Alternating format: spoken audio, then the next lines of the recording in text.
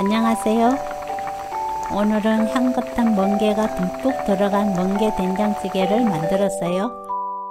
꽃게탕이나 해물탕처럼 해산물 들어간 국물 요리를 좋아하시는 분들은 꼭 만들어 봐야 할 변미랍니다. 멍게 된장찌개 만들기 시작할게요. 구독, 좋아요, 알람 설정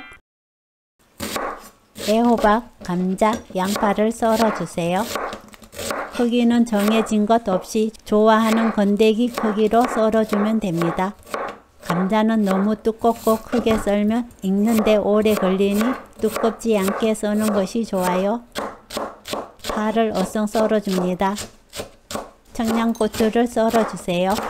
매운맛 좋아하는 정도에 따라 청양고추를 넣으시면 되는데 멍게 된장찌개는 칼칼해야 더 맛있답니다.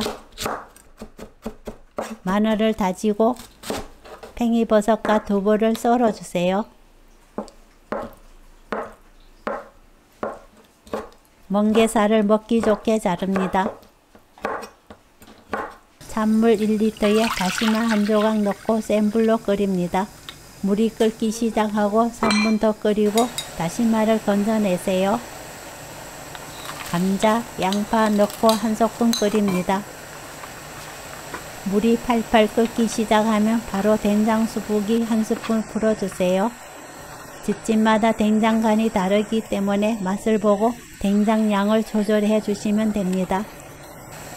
멸치가루 반 스푼, 애호박, 다진 마늘 넣어 끓여주세요.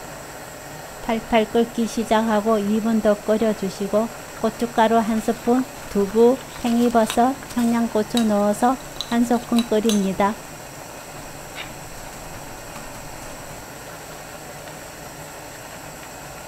거품이 중간에 모이면 걷어내 주세요.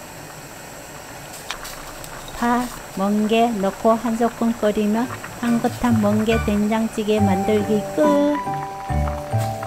오늘 영상은 여기까지 시청해 주셔서 감사합니다. 다음에 또 만나요.